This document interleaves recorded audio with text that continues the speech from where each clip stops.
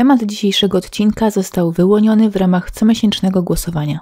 Jeśli chcesz mieć wpływ na tematykę omawianych spraw, zapraszam do wspierania kanału. Często uznajemy pomaganie potrzebującym za coś oczywistego. Pomagamy, bo możemy.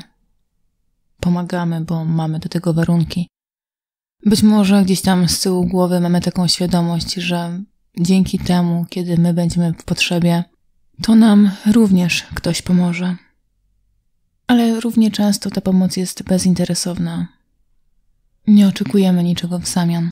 Pomagamy z czystej przyzwoitości lub też czujemy żal względem osób, którym w życiu nie powiodło się tak dobrze jak nam. Dziś będzie właśnie o takiej historii. Dzięki naszym patronom opowiem Wam historię o ludziach, którzy pomogli jak tylko umieli i na pewno nie spodziewali się tego, w jaki sposób zostaną wynagrodzeni za swoje dobre serce. Zapraszam Was do wysłuchania historii o mordercy z dzieckiem na ręku.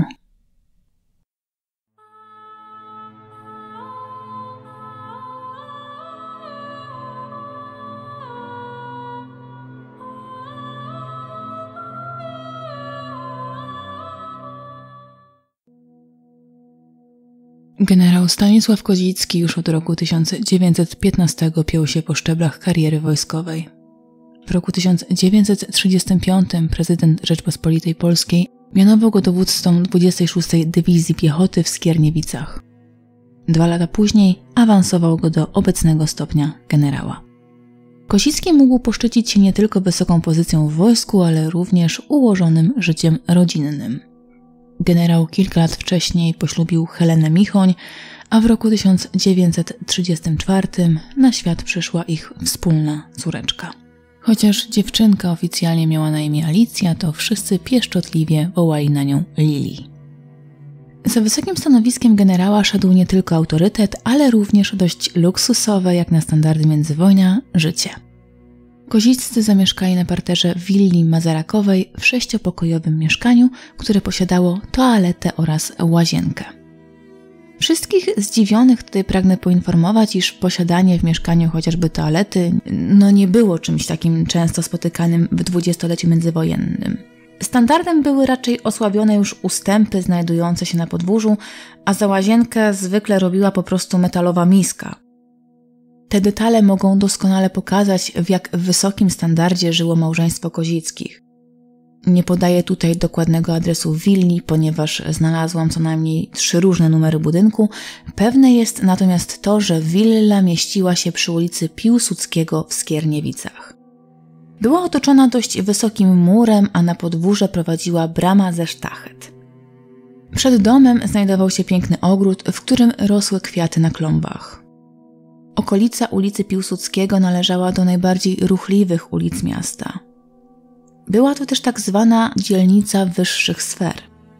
Domy mieszczące się właśnie przy ulicy Piłsudskiego zamieszkiwane były przez najzamożniejszych mieszkańców Skierniewic.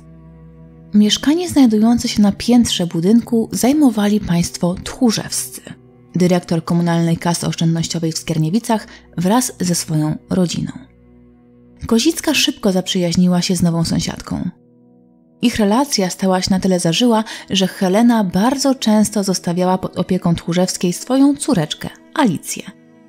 Oczywiście do standardowej opieki Alicja posiadała bonę, e, natomiast jeżeli chodziło o e, jakieś takie dłuższe pobyty, e, gdzie Helena Kozicka musiała wyjechać poza miasto, no to właśnie wtedy Tchórzewska przyjmowała małą Lili pod swój dach.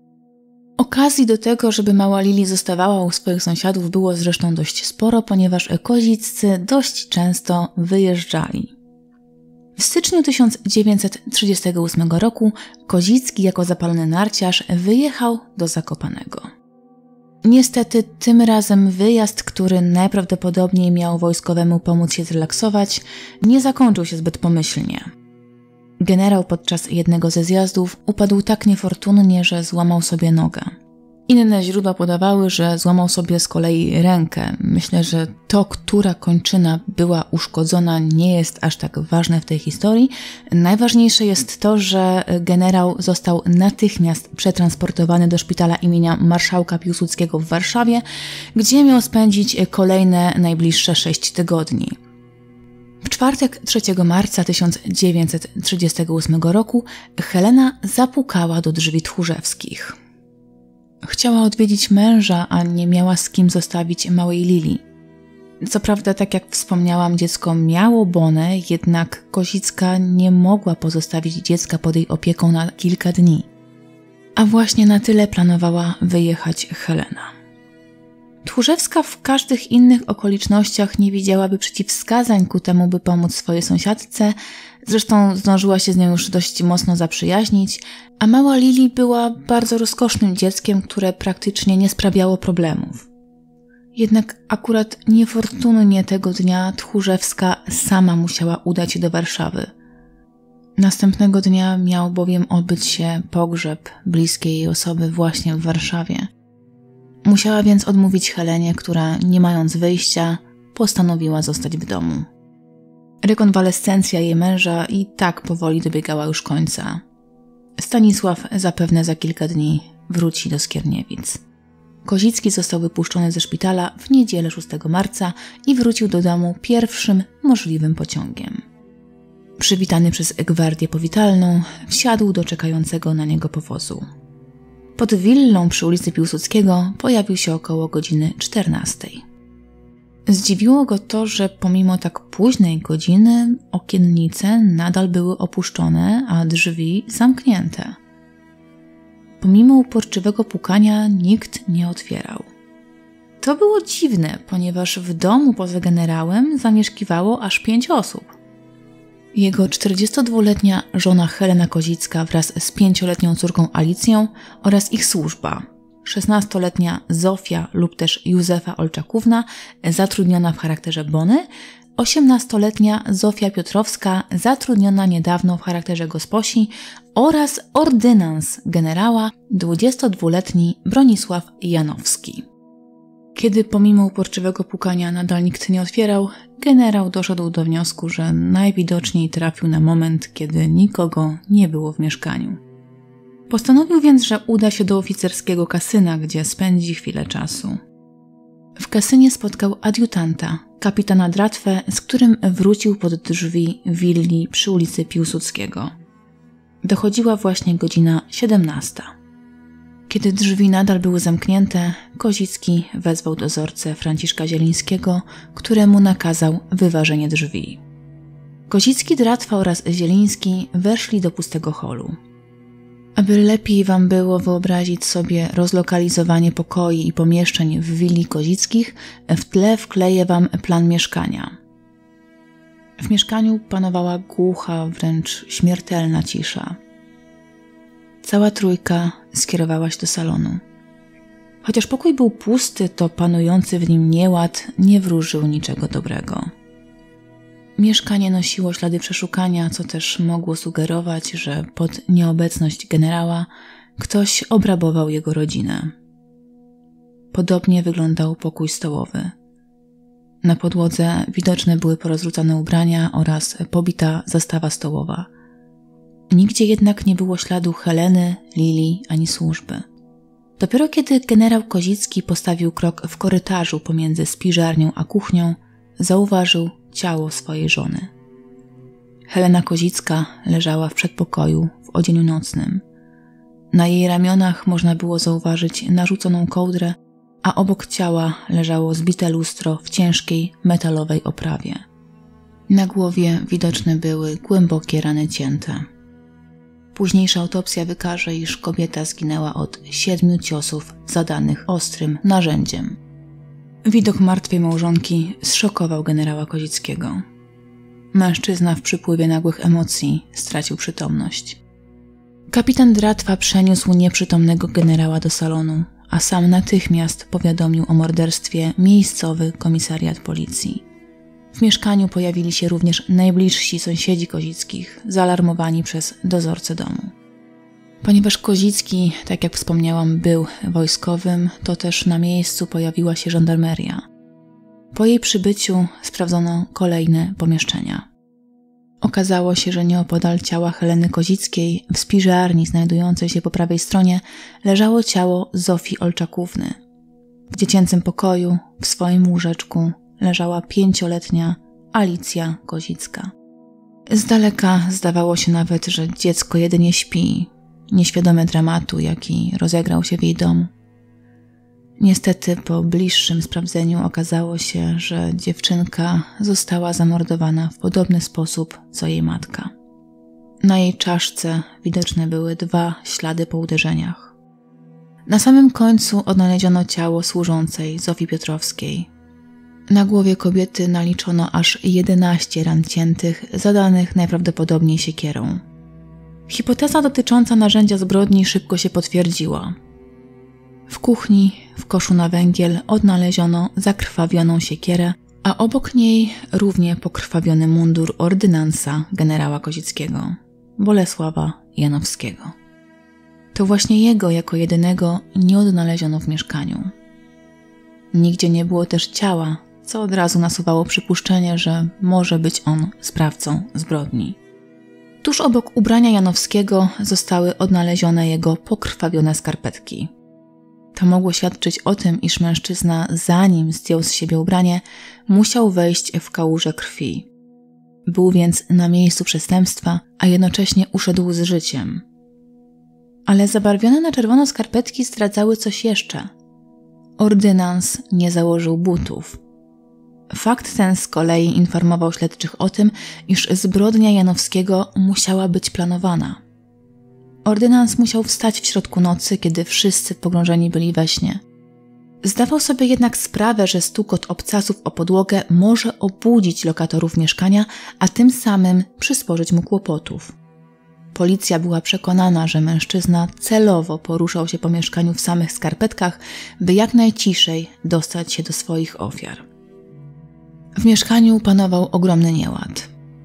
Na ziemi leżały potłuczone naczynia i porozrzucane drobiazgi. W sypialni na środku pokoju leżał tabuł z bielizną i ubraniem. Zarówno meble, jak i ściany pokryte były czerwono-brunatną cieczą. Przybyły na miejsce lekarz dr Łąkecki po wstępnych oględzinach orzekł, iż zgon najprawdopodobniej nastąpił przed kilkunastoma godzinami. Dokładniejsza autopsja wykazała jednak, że wszystkie ofiary zginęły w nocy z 3 na 4 marca, czyli z czwartku na piątek.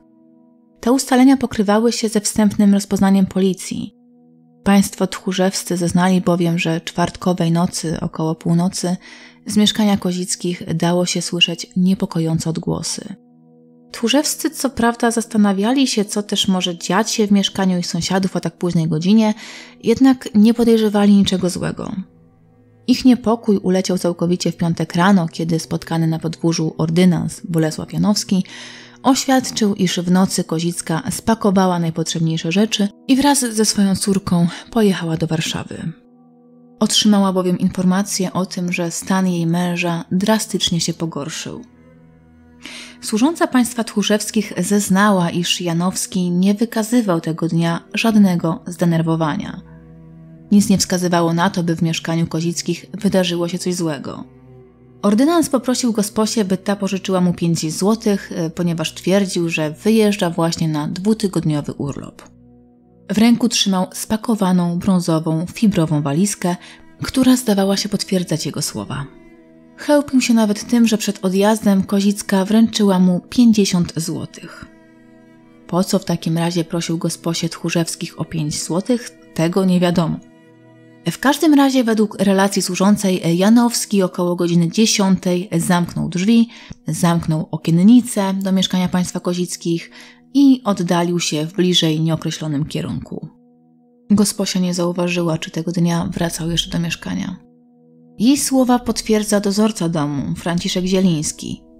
On również w piątek zamienił z Janowskim kilka słów. Mężczyzna, trzymając w ręku wypełnioną walizkę, prosił Zielińskiego, by ten doglądał domu państwa Kozickich, ponieważ on wyjeżdża, a Kozicka jest wraz z dzieckiem w Warszawie. Dość zagadkowe były obrażenia odnalezione na ciele ofiar. Z jednej strony przeszukanie mieszkania świadczyło o tym, że morderca działał z pobudek rabunkowych. Z drugiej zaś strony napastnik zadał swoim ofiarom zdecydowanie zbyt dużo ciosów śmiertelnych, co też mogło świadczyć o tym, iż morderca dopuścił się zbrodni targane silnymi emocjami i gniewem. Gdyby chodziło jedynie o usunięcie niewygodnych świadków, wystarczyłby jeden, maksymalnie dwa ciosy. Dlaczego więc napastnik postanowił dopuścić się nadzabijania? Czyżby chodziło o jakąś głębszą urazę? Na głowie Heleny Kozickiej odnaleziono aż siedem ran śmiertelnych. Ciało Piotrowskiej otrzymało nawet więcej, bo aż 11 ciosów zadanych siekierą. Również ciało Olczakówny otrzymało kilka ciosów w klatkę piersiową, które zostały zadane obuchem siekiery. Tylko mała Lili otrzymała jedynie dwa ciosy.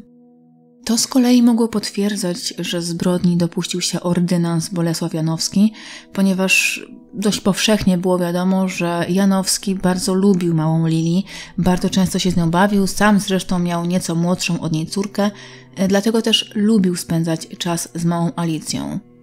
To by tłumaczyło, dlaczego dziewczynka została uśmiercona najdelikatniej ze wszystkich ofiar.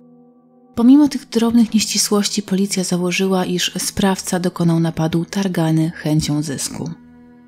Po dokładnym przeszukaniu zanotowano, iż z mieszkania zginęło 50 zł, które generałowa trzymała w swoim portfelu, złoty zegarek, rewolwer, kilka elementów garderoby męskiej, damskiej oraz dziecięcej, kilka par butów, butelka wina oraz sześć pomarańczy.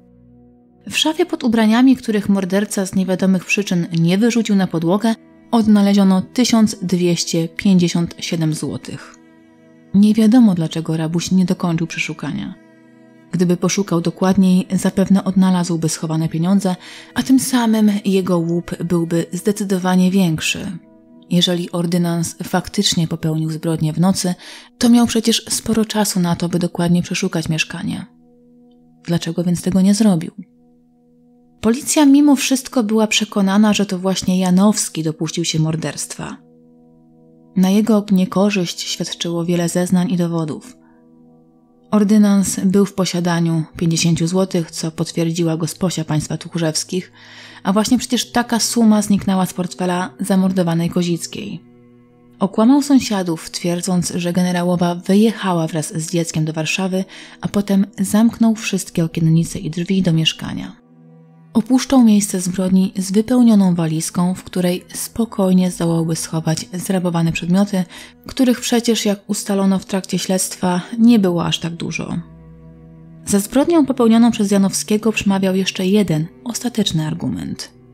8 marca kończył się okres służby Janowskiego, a co za tym idzie, mężczyzna musiał pożegnać się z pracą ordynansa, która nie tylko była dobrze płatna, ale również zapewniała mężczyźnie wygodne życie w domu Kozickich.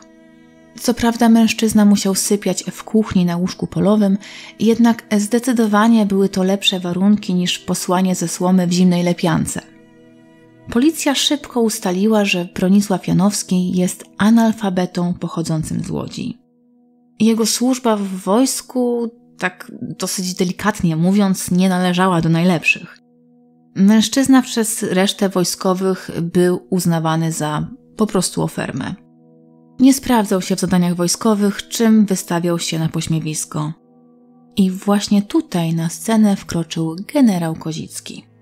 Widząc, że Janowski nie radzi sobie w wojsku, postanowił przydzielić go do siebie na służbę w charakterze ordynansa. Janowski szybko zdobył sobie zaufanie Kozickich. Choć nie należał do najinteligentniejszych, to dał się poznać jako cichy i uczciwy pracownik. A co najważniejsze, miał dużo ciepła i cierpliwości do małej Lili. Wszystkie fakty przemawiały za tym, iż to właśnie Bolesław Janowski jest odpowiedzialny za zbrodnie w willi Mazarakowej. Ustalono nawet prawdopodobny przebieg zbrodni. Ordynans, jak co noc, musiał nocować w kuchni na łóżku polowym. Kiedy upewnił się, że wszyscy poszli już spać, chwycił za siekierę. Ściągnął buty, by nie narobić hałasu, jednocześnie zapominając o tym, iż krew jego ofiar zachlapie mu mundur wojskowy. Pierwszą ofiarą Janowskiego padła gosposia. Mężczyzna zaatakował kobietę w pokoju gospodarczym podczas snu. Później skierował się do pokoju Bony. Tam zaatakował kobietę tak samo, jak zrobił to z wcześniejszą ofiarą. Tym razem jednak cios nie był śmiertelny. Silne uderzenie zraniło kobietę, jednak nie pozbawiło ją życia. Przerażona Bona uciekła z pokoju w kierunku spiżarni, gdzie najprawdopodobniej próbowała schować je przed sprawcą. Niestety napastnik okazał się silniejszy. Krzyki Olczakówny najpewniej zaalarmowały Helenę Kozicką, która, nie wiedząc dokładnie co się dzieje, okryła ciało kołdrą i chwyciła za ciężkie lustro, które najprawdopodobniej miało jej służyć za broń. Kozicka spotkała mordercę w korytarzu obok schowka. Próbowała się bronić, jednak napastnik stłukł lustro i zaatakował generałową. Na samym końcu zginęła mała Lili. Choć początkowo zakładano, iż dziewczynka zmarła we śnie, to późniejsze ustalenia pokazały, że mogło być jednak trochę inaczej. Pierwszy cios, jaki otrzymała dziewczynka, został zadany obuchem siekiery. Morderca najpewniej założył, że silny cios wystarczy, by odebrać życie pięcioletniej dziewczynce. Ale w trakcie uderzenia siekiera najprawdopodobniej zahaczyła o poduszkę i drasnęła dziewczynkę. Cios jedynie ją zbudził. Ślady świadczyły o tym, iż dziewczynka prawdopodobnie próbowała wyskoczyć spod kołdry. Niestety bezskutecznie. Sprawca po dokonaniu masakry, jak gdyby nigdy nic, wrócił do kuchni, schował siekierę i przebrał się w czyste ubranie należące do generała Stanisława Kozickiego. Później splądrował mieszkanie, spakował najcenniejsze według swojej oceny rzeczy i oddalił się z miejsca zbrodni następnego dnia, przy czym oczywiście nie zapomniał poinformować sąsiadów o wyjeździe generałowej. Co ciekawe, Janowski wcale nie zabrał wyjątkowo cennych przedmiotów. Jego łupem padło kilka sztuk odzieży, 50 zł i kilka drobiazgów. Wszystkie kosztowności, łącznie z ukrytą w bieliźniarce biżuterią, pozostały nietknięte. Policja otrzymała pełny rysopis podejrzanego. Janowski był ciemnym blondynem o zaczesanych do góry włosach. Miał zaledwie 155 cm wzrostu, pociągłą twarz i patykowate, chude nogi. Miejsce zbrodni opuścił ubrany w długie, błyszczące buty i ciemne, sportowe spodnie. Odzienie zostało skradzione i należało do generała Stanisława Kozickiego. Z willi zniknęła również stara, lekko podniszczona kurtka oraz ciemny, granatowy płaszcz. Ze względu na dość spory ziąb, morderca mógł narzucić na siebie któreś ze skradzionych okryć wierzchnich. Bolesław Janowski pochodził z ubogiej rodziny mieszkającej w Łodzi. A dokładnie mówiąc to z Hojen, czyli bardziej z Łodzi, ponieważ Hojny w tamtym okresie czasu jeszcze nie zostały przyłączone do Łodzi. Bardzo możliwe jest więc, że właśnie w tym kierunku uciekł sprawca, Zanim jednak zdecydowano się na odszukanie rodziny Janowskiego, na przesłuchanie wezwano dozorcę domu, Franciszka Zielińskiego oraz Teofilę Józefską, która codziennie rano przychodziła do mieszkania Kolickich, by pomóc przy sprzątaniu. Co prawda od Józefskiej nie dowiedziano się niczego, co mogłoby popchnąć sprawę do przodu, jednak Zieliński podzielił się z policją znaczącymi informacjami. Samego Janowskiego opisał jako chuchro ważące zaledwie 54 kg. Janowski miał stronić od ludzi i z nikim nie rozmawiać, był raczej taki zamknięty w sobie. Zresztą trudno mu się dziwić, skoro w wojsku był wytykany palcami. Zieliński opowiedział policji, iż 4 marca o godzinie 10 listonosz przyniósł pocztę, którą wrzucił do skrzynki państwa kozickich. Tego dnia nikt jednak nie wyszedł, by ją odebrać. Było to nietypowe, ponieważ generałowstwo codziennie sprawdzało skrzynkę pocztową, zwłaszcza właśnie rano e, ktoś wychodził, by sprawdzić, czy listonosz czasem nie włożył czegoś do skrzynki. Kolejnym niepokojącym sygnałem były psy, które głodne włąkały się po podwórku. Jeżeli generałowa postanowiła wyjechać do Warszawy, to nawet gdyby robiła to w pośpiechu, no to zapewne zleciłaby komuś nakarmienie psów. Te informacje, choć rzuciły nieco więcej światła na sprawę, nie spowodowały, że śledztwo nabrało tempa. pewnej chwili Zieliński zmienił temat i zaczął opowiadać o żonie Janowskiego. Nawet ordynans wstydziłby się chodzić z taką. Przychodziła do niego często przez szlachetki ogrodu z dzieckiem na ręku. Dlaczego informacja o żonie Janowskiego okazała się tak ważna? W trakcie autopsji okazało się, że w lewej dłoni generałowej odnaleziono garść wyrwanych włosów w odcieniu ciemnego blondu. I na pewno były to włosy dłuższe niż włosy wojskowego ordynansa. Według zeznań Zielińskiego właśnie taki kolor włosów miała tajemnicza żona ordynansa. Czyżby więc kobieta mogła być na miejscu zbrodni i pomagała mężowi mordować Kozickich? No i gdzie w tym czasie było ich dziecko? Czy możliwe jest, by zostało ono przeniesione na miejsce zbrodni i było niemym świadkiem tragedii? Jeżeli informacje te znalazłyby potwierdzenie, świadczyłoby to o tym, iż sprawca zbrodni cynicznie mordował pięcioletnie dziecko generała Kozickiego, kiedy swoje własne, dosłownie chwilę wcześniej, mógł trzymać na rękach. Włosy wraz z próbkami krwi zebranymi na miejscu zbrodni zostały wysłane do Instytutu Medycyny Sądowej w Warszawie. Policja szybko zainteresowała się podejrzaną kobietą. Ustalono, że żona Janowskiego mieszkała jako sublokatorka w domu przy ulicy Wspólnej 11. Nazywała się Władysława Janowska z domu Kwiatkowska i liczyła 25 lat. Dzięki wstawiennictwu generała Kozickiego została zatrudniona w charakterze kucharki u pana Biernacika. Praca spadła jej z nieba. Janowska otrzymywała wyżywienie, dach nad głową oraz 5 zł zapłaty tygodniowo. Być może nie brzmi to jak praca marzeń, jednak dla pochodzącej ze wsi janowskiej, która no, nie miała przed sobą żadnych perspektyw i sypiała na klepisku, były to wyżyny luksusu. Kobieta nie musiała martwić się o jedzenie dla siebie i dziecka, a przy tym potrafiła jeszcze tak zagospodarować pieniędzmi, że zawsze odłożyła parę groszy.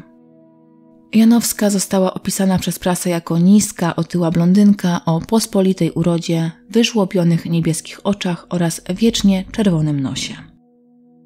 Policja postanowiła przesłuchać Biernacika.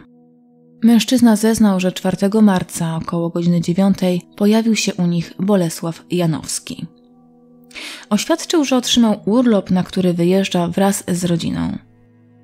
To oświadczenie zdziwiło Biernacika, który doskonale wiedział, że za kilka dni Janowski kończy swoją służbę wojskową. Ordynans nie mógł więc otrzymać urlopu, skoro za cztery dni opuszczał wojsko. Próbował nawet skonfrontować się z Janowskim, jednak ordynans zbył go milczeniem. Biernacik był bardzo ważnym świadkiem. Janowski bowiem otworzył przy nim walizkę przyniesioną z mieszkania Kozickich. Pracodawca Janowskiej zauważył, jak ordynans wyciąga z niej sukienkę i płaszcz damski, który wręczył swojej żonie, oraz zieloną dziecięcą sukienkę i płaszczyk z futrzanym kołnierzem, w który nakazał ubrać swoją dwuletnią córeczkę. Sam zajął się liczeniem pieniędzy, jak się później okaże, zrabowanych z portfela Kozickiej. Po chwili Janowska stwierdziła, że ma dziurawe pantofle. Zapytała swojego ślubnego, czy ten nie byłby w stanie przynieść jej jakichś butów. Janowski miał wtedy wstać z miejsca i odpowiedzieć, że zapyta generałową, czy ta nie pożyczy jej jakichś sprawnych butów, po czym ponownie udał się do willi Kozickich. Tam też zauważył go dozorca Zieliński. Spostrzegł, że Janowski opuszcza mieszkanie z małym zawiniątkiem pod pachą. Wtedy jeszcze zachowanie ordynansa nie wydawało mu się podejrzane. Kiedy Janowski wrócił na ulicę Wspólną, wręczył żonie dwie pary butów. Żółte pantofle oraz krótkie botki deszczówki. Później zabrali kilka rzeczy i odjechali na dworzec. Janowski poinformował Biernacika, że ma w planach odwiedzić swoją rodzinę, która mieszka w Łodzi.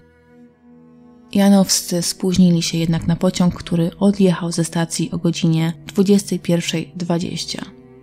Dlatego też wsiedli do kolejnego, 22 minuty po północy. Zwracali na siebie uwagę podróżnych ze względu na małą dziewczynkę ubraną w zdecydowanie zbyt dużą sukienkę i zbyt duży płaszcz. Później ślad po nich zaginął. W czasie, kiedy policja próbowała odnaleźć podejrzanych o morderstwo, generał Kozicki żegnał swoją żonę i córkę. Pogrzeb ofiar zaplanowano na 8 marca 1938 roku. Pod kaplicą, w której złożono trumny ofiar, gromadziły się tłumy mieszkańców. Generała Kozickiego nie odstępowano na krok. Przy pogrążonym w żałobie mężczyźnie można było zauważyć towarzyszów broni oraz przyjaciół.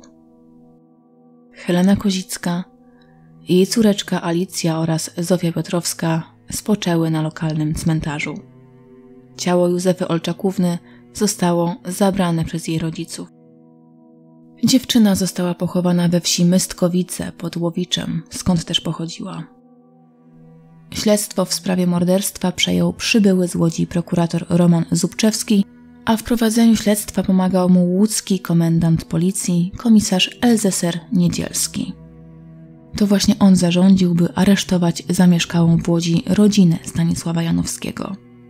Jeżeli mężczyzna opowiadał o tym, iż zamierza odwiedzić swoich bliskich, a jednocześnie widziany był w pociągu jadącym właśnie w kierunku Łodzi, to bardzo prawdopodobne, że ktoś z jego najbliższego otoczenia może wiedzieć, co też stało się z uciekinierem. Na przedmieściach Hojen zarządzono obławę, która doprowadziła do szeregu aresztowań. W rękach policji znalazł się Józef Janowski, starszy brat poszukiwanego mężczyzny, posiadający swój zakład rzeźnicki przy ulicy Żgowskiej w Łodzi. Aresztowano również ich siostrę Bronisławę zamieszkałą przy ulicy Tkacza 20 oraz Mariannę Leszko, ciotkę Janowskiego. Do kompletu zatrzymano również niejaką Świderską, wdowę, której Janowski podnajmował swego czasu pokój jako sublokator. Wszyscy aresztowani zgodnie stwierdzili, że nie mają pojęcia, gdzie może przebywać Bronisław. Mężczyzna nie kontaktował się z nimi od dłuższego czasu – dla pewności policjanci postanowili nie wypuszczać zatrzymanych z aresztu. Trop rodziny Janowskich prowadził jednak donikąd. Okazało się, że morderca postanowił wyjechać w zupełnie inne rejony. Policjanci otrzymali informację, że mężczyzna o podobnym rysopisie widziany był ostatnio w okolicach Mińska Mazowieckiego. Towarzyszyła mu kobieta niosąca na rękach małą dziewczynkę. Policja wysłała więc do powiatu liczne patrole mające namierzyć poszukiwanego. Szybko ustalono, że celem Janowskich był oddalony o 10 km od Mińska Mazowieckiego Cegłów. Tam też mieszkała zresztą Józefa Kwiatkowska, macocha Władysławy. Niestety policjanci się spóźnili. Kiedy o godzinie 19 zapukali do drzwi parterowego drewnianego domku znajdującego się w pobliżu stacji kolejowej, Janowskich już tam nie było. Policja dowiedziała się od Józefy Kwiatkowskiej, że Janowski podczas wizyty zdawał się być ponury i zdenerwowany. W końcu oświadczył nawet, że zabije żonę, dziecko i siebie.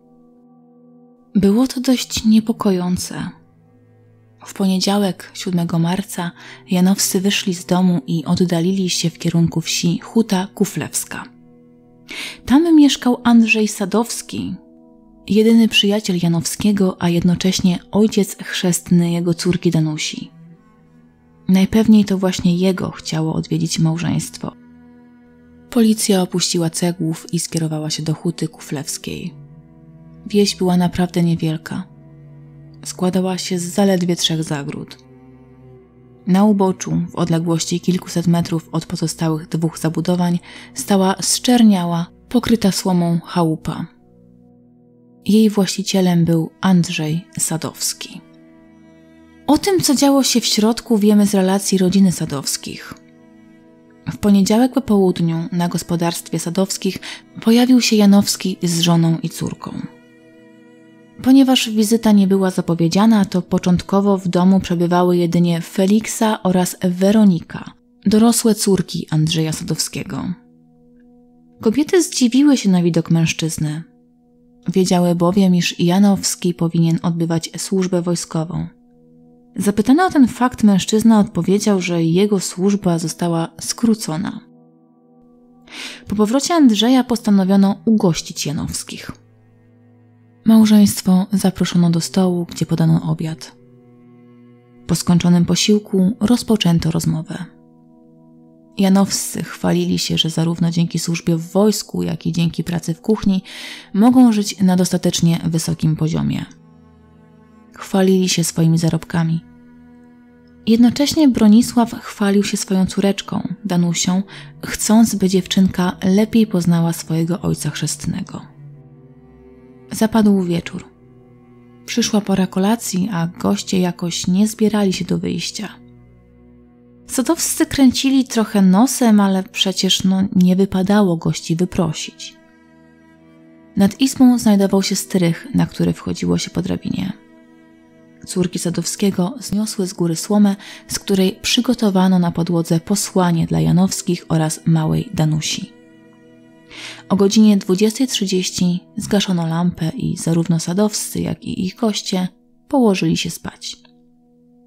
O północy wszystkich zbudziło pukanie w okno. Sadowski podszedł do szyby i zapytał, kto i z jaką sprawą przychodzi o tak późnej porze. Po drugiej stronie usłyszał głos młodego chłopaka, który przedstawił się jako Stasiek. Twierdził on, iż został przysłany przez sołtysa, ponieważ do Sadowskich przyjechali w odwiedziny kuzyni. Sadowski nieco się wahał. Znał Staśka, jednak nie był do końca przekonany, czy to faktycznie jest jego głos. Poza tym, co to za zwyczaje, żeby po północy gości sprowadzać? Nikt o zdrowych zmysłach nie składa wizyt o tak późnej porze. Janowski, przysłuchując się całej rozmowie, przekonał Sadowskiego, by ten nie otwierał drzwi, gdyż po drugiej stronie zapewne stoją bandyci i tylko czekają na to, by mężczyzna wpuścił ich do środka. Sadowscy zgodzili się z Janowskim.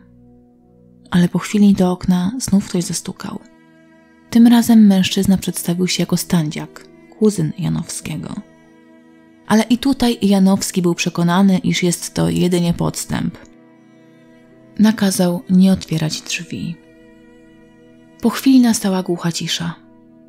Na dworze panowały egipskie ciemności. Jeżeli na zewnątrz czaiła się szajka zbójecka, to trzeba było szybko wymyślić sposób na obronę. Janowski bohatersko oznajmił, iż jest w posiadaniu broni. Dlatego też najlepiej będzie, jeżeli wyjdzie na dwór i strzeli ostrzegawczo. Być może tym sposobem odstraszy bandytów. Janowski jednak nie zdążył wyjść z domu. Przeszedł z izby do sieni i strzelił przez małe, wybite okienko. Nie spodziewał się jedynie, że odpowiedzą mu dwa strzały oddane z broni palnej. Przestraszony Janowski polecił, by schować się w chacie i nie zapalać światła. W innym razie wszyscy zginą od bandyckiej kuli. Jednak już po chwili za oknem słychać głośny i stanowczy nakaz otwarcia drzwi, a w oknach wybito szyby. Jak później zrelacjonuje Sadowski, dopiero teraz zrozumieliśmy, że to nie bandyci, a policja – Poznałem głos komendanta posterunku Zmrozów, przodownika Lesiaka. Otworzyliśmy. Z przerażenia tak nam wszystkim ręce drżały, że nie mogliśmy dać sobie rady z zapaleniem lampy. Po chwili w izbie zapłonęło światło. Sadowski szybko zorientował się, że Janowski zniknął. Mężczyzna, który zorientował się, że policja czeka na niego na podwórzu, prędko nałożył na siebie ubranie i przedostał się drabiną na strych. Zarówno Standziak, jak i Stasiek, syn sołtysa, naprawdę byli tymi, za których się podawali. Policjanci, chcąc uniknąć rozlewu krwi, udając się do domu Sadowskiego, zgarnęli po drodze dwóch znajomych Sadowskim mężczyzn. Mieli nadzieję, że dzięki temu sadowscy otworzą drzwi bez przymusu, a tym samym policja uniknie rozlewu krwi. Niestety nie wiedzieć dlaczego Sadowski nie rozpoznał znajomych głosów. Być może było to podyktowane tym, iż został gwałtownie zbudzony. Na podwórzu czekał patrol złożony z czterech policjantów. Po pewnym czasie do funkcjonariuszy dołączył patrol z Mińska Mazowieckiego, a w drodze był naczelnik Wojewódzkiego Urzędu Śledczego, inspektor Czmaj. Choć obława na Janowskiego nie przebiegła zgodnie z planem, to policja nadal miała nadzieję, że aresztowanie przebiegnie dość pokojowo. Dlatego też spokojnie czekano na kolejny ruch podejrzanego. Wiedziano już, że Janowski jest uzbrojony. Podejrzewano więc, że pierwszy policjant, który zajrzałby na strych, padłby martwy od kuli wystrzelonej z rewolweru. Były to straty, na które policjanci nie mogli sobie pozwolić. Sadowscy starali się namówić Janowskiego do tego, by zszedł ze strychu. Jednak ich prośby pozostały głuche. Janowski uparcie milczał. Kiedy dochodziła godzina siódma rano, a na dworze świtało, ze strychu rozległ się huk wystrzału. Policja zastanawiała się, czy nie jest to jedynie fortel zastosowany przez Janowskiego. Być może mężczyzna jedynie udawał samobójczy strzał, ponieważ chciał w ten sposób zwabić policjantów na strych. Aby sprawdzić, w jakim stanie jest podejrzany mężczyzna, Standziak, jego kuzyn, włożył na głowę okrągłe drewniane naczynie zwane szaflikiem i powolnym krokiem zaczął wspinać się po drabinie prowadzącej na strych. Kiedy Standziak dotarł na górę, zauważył Janowskiego z raną postrzałową na skroni. Mężczyzna wykazywał jeszcze oznaki życia. Janowski został zniesiony ze strychu i przetransportowany wozem policyjnym do najbliższego szpitala, który mieścił się w Mińsku Mazowieckim. Niestety mężczyzna nie doczekał przyjazdu, ponieważ zmarł podczas transportu.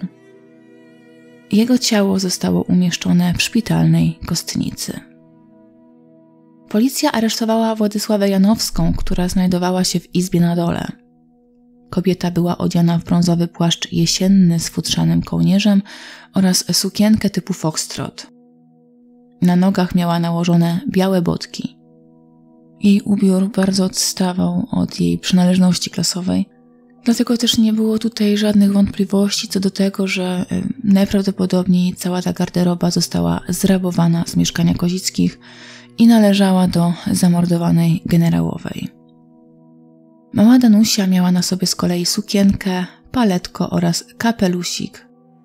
Te ubranka również zostały zrabowane i wcześniej należały do Alicji Kozickiej. Janowska stała spokojnie. Na rękach trzymała dwuletnią Danusię. Szybko okazało się, iż nie była gruba, tak jak donosiła prasa, ponieważ Janowska była po prostu w szóstym miesiącu ciąży. Ani przy Janowskim, ani przy jego żonie nie odnaleziono zrabowanych pieniędzy. Kiedy do chaty Sadowskich dociera informacja o śmierci Janowskiego, jego żona zaczęła się modlić. Około południa Janowska wraz z dzieckiem została przewieziona do komendy powiatowej policji w Mińsku Mazowieckim. Tam też niezwłocznie przystąpiono do jej przesłuchania. Janowska utrzymywała, iż o zbrodni popełnionej przez męża dowiedziała się już po fakcie. 3 marca wieczorem miał jej polecić, by ta następnego dnia nie szła do pracy, ponieważ wyjadą ze Skierniewic. Jej zeznania nie do końca były jasne.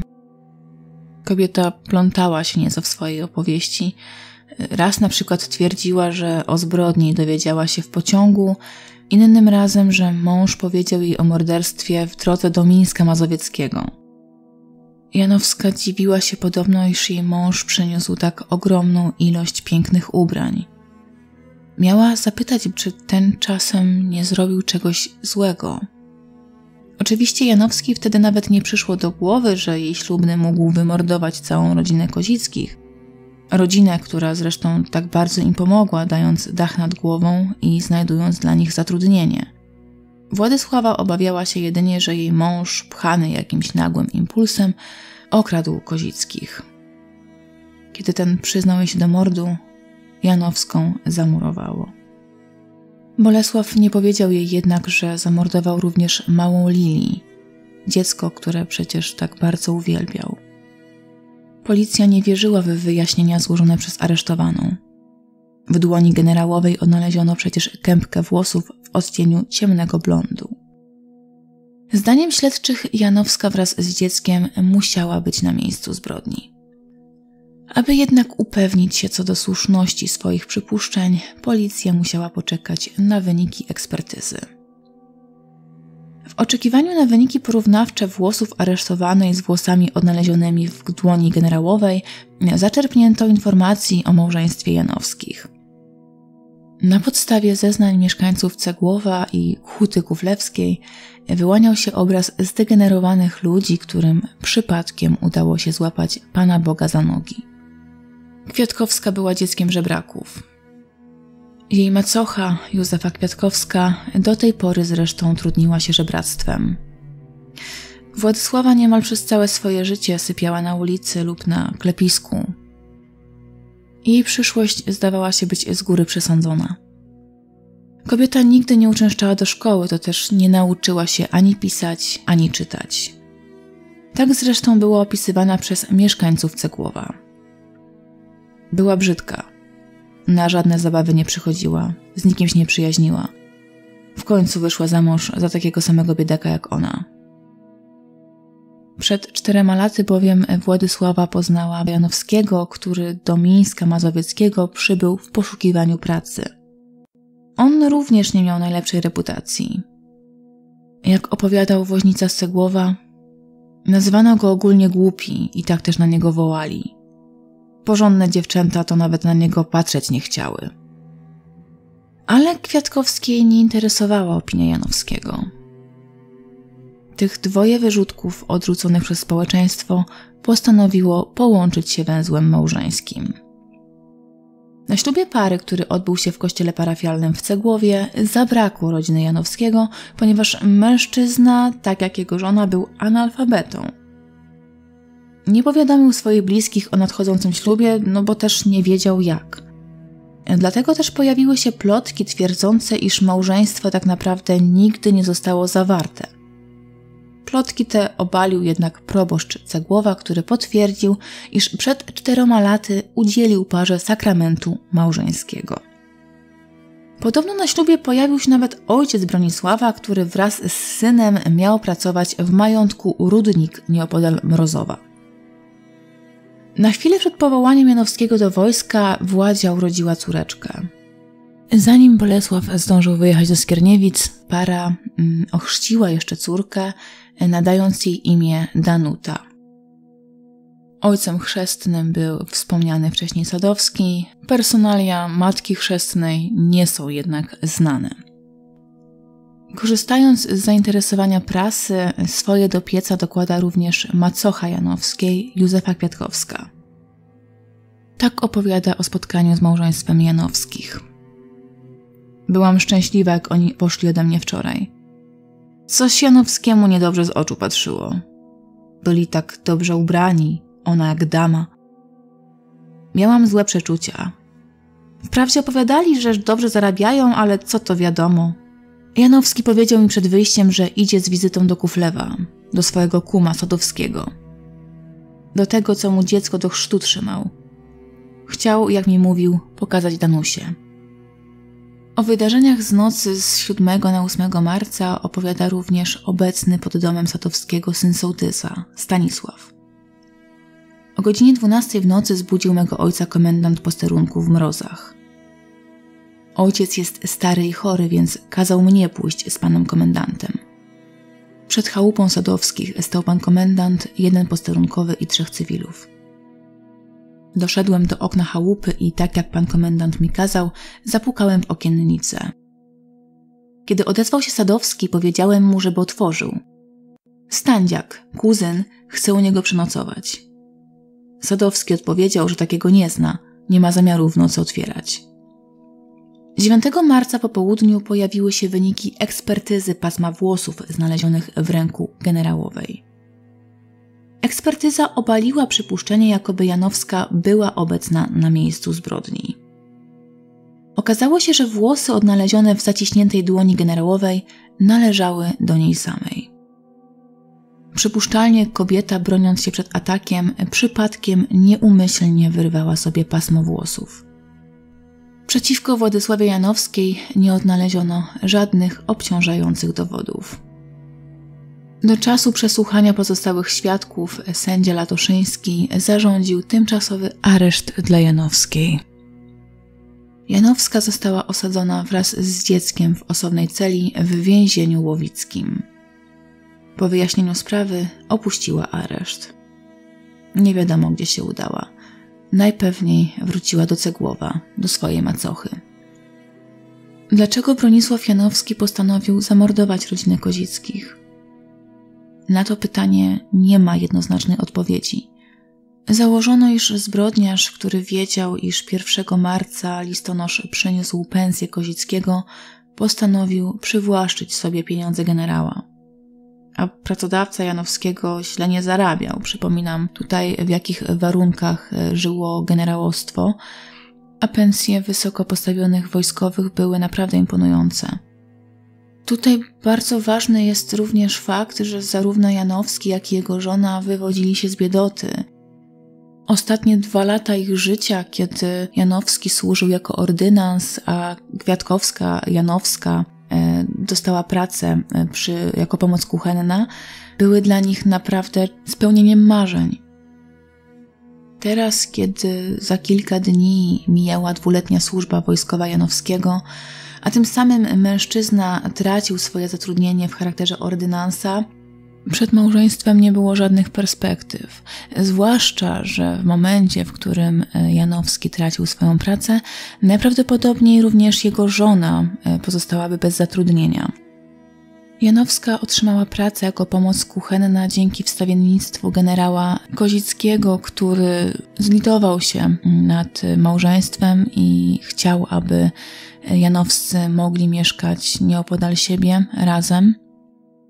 Wcześniej bowiem Janowska pozostała w Cegłowie, ale kiedy już nic nie trzymało Janowskiego w Skierniewicach, to najpewniej jego żona również albo zostałaby zwolniona z pracy, albo musiałaby sama tę pracę porzucić, ponieważ Janowski najpewniej wróciłby albo do Cegłowa, e, albo do Łodzi, do Hojen, gdzie mieszkała jego rodzina. Bez pracy i dachu nad głową z ciężarną żoną u boku, no Janowski nie miał zbyt wiele możliwości. Wtedy to właśnie najpewniej w jego głowie narodził się plan. Plan, który tak naprawdę nie miał szans na powodzenie. Policja szybciej czy później musiała wpaść na trop ordynansa, co też najprawdopodobniej Janowski uświadomił sobie w mieszkaniu Józefy Kwiatkowskiej. Wtedy też przygnieciony wizją aresztowania stwierdził, że zabije siebie, żonę i dziecko. Niestety samobójcza śmierć Janowskiego uniemożliwiła uzyskanie odpowiedzi dotyczących prawdziwego motywu jego postępowania. W sprawie pojawiła się również jeszcze jedna hipoteza. Ustalono, że na miesiąc przed morderstwem z mieszkania Kozickich zniknęło 50 złotych. Usilnie szukano winnego, którego ostatecznie nie odnaleziono. Prawdopodobnie to właśnie Janowski dokonał kradzieży, przynajmniej tak twierdziła prasa. Musimy tutaj brać pod uwagę, że Janowski mógł być kompletnie niewinny. A gosposia Piotrowska miała być jedyną osobą, która domyślała się, kto może być złodziejem. Być może chciała nawet donieść o wszystkim generałowej, i to by wyjaśniało, dlaczego to akurat gosposia zginęła jako pierwsza. Ordynans chciał ją zamordować, aby uniknąć zdemaskowania. Jej wrzaski zbudziły jednak pozostałych domowników, dlatego też Janowski, nie chcąc zostać nakrytym, wymordował wszystkich po kolei. Dlatego też nie przeszukał mieszkania dokładnie, zrobił to tylko pobieżnie, ponieważ działał y, bez żadnego planu. Ta wersja w mojej opinii jest jednak dosyć naciągana – nie wyjaśniała śmierci dziecka, które przez całe zajście spało przecież spokojnie w swoim łóżku. Janowski nie musiał odbierać życia pięcioletniej Lili, a jednak to zrobił. Nie wiadomo też, czy kradzież 50-złotowego e, banknotu faktycznie miała miejsce, czy też była po prostu plotką, którą wymyśliła prasa, bądź jakiś dziennikarz po prostu e, został poniesiony falą fantazji. Temat jednak dość szybko ucichł w prasie. Główny winowajca sam wymierzył sobie sprawiedliwość, jego żona okazała się niewinna, a zagadka morderstwa w willi Mazarakowej, a dokładniej mówiąc motywy kierujące sprawcą zbrodni, nie zostały do końca wyjaśnione. Co się zaś tyczy generała Kozickiego, to nie ułożył on sobie życia ponownie. Wkrótce zresztą wybuchła II wojna światowa i Kozicki przebywał w niemieckich obozach jenieckich. Po uwolnieniu i, i po zakończeniu wojny osiedlił się w Anglii. Tam też po kilku latach, w roku 1948, zmarł na atak serca. W chwili śmierci miał 55 lat. Udało mi się znaleźć sporo fotografii dotyczących dzisiejszej historii. Postaram się Wam zamieścić ich jak najwięcej w dzisiejszym materiale. Ale jeżeli nie lubicie oglądać podcastów, wolicie je słuchać, to oczywiście zapraszam Was na mojego Instagrama. Znajdziecie mnie pod nazwą Zbrodnie Zapomniane i tam oczywiście wkleję Wam wszystkie zdjęcia, a przynajmniej większość zdjęć, jakie posiadam. Bardzo dziękuję moim patronom za wybór tematyki dzisiejszego odcinka. Jeżeli tak jak moi patroni chcecie mieć wpływ na temat omawianych spraw, to oczywiście zapraszam Was do wspierania w serwisie Patronite, ale oczywiście możecie wesprzeć rozwój kanału również w inny sposób, m.in. zostawiając po sobie komentarz, łapkę w górę lub też polecając materiał na innych stronach o tematyce kryminalnej. Z ogłoszeń parafialnych to chciałam jedynie powiedzieć, że trochę y, zmieniły nam się daty emisji odcinków. Jest to podyktowane tym, że przygotowałam dla Was taki materiał dodatkowy. Pytałam Was ostatnio na Instagramie, czy chcielibyście raz na jakiś czas otrzymać taki krótszy, bonusowy materiał. I większość z Was, y, żeby nie powiedzieć, że wszyscy, była za. Dlatego też myślę, że tak może raz w miesiącu e, będę umieszczała na kanale e, materiały krótsze, 20-30 minutowe e, i będą one publikowane w, jakoś tak w środku tygodnia pomiędzy jednym a drugim standardowym odcinkiem. Jeżeli chcecie mieć też decyzyjność, oczywiście, to zapraszam Was na Instagrama. Tam zdarza mi się z Wami dyskutować, pytać właśnie mm, o tematykę kolejnych odcinków. Tak więc, jeżeli e, macie ochotę trochę ze mną porozmawiać e, lub też e, wyrazić swoją opinię, nawet tą niepochlebną, to oczywiście zapraszam Was na Instagram Zbrodnie Zapomniane. A ja dziękuję Wam za wysłuchanie dzisiejszej historii. E, znowu wyszło nam nieco przydługo, ale mam nadzieję, że nie będziecie narzekać. Z tego, co większość z Was mówiła, to e, raczej wolicie takie dłuższe historie. Dziękuję Wam jeszcze raz za wysłuchanie dzisiejszej historii, za to, że spędziliście tę godzinę czasu z moim głosem. Jest to dla mnie bardzo miłe, że mogę dla Was tworzyć nowe materiały. Dziękuję Wam za to, że jesteście. Do usłyszenia wkrótce.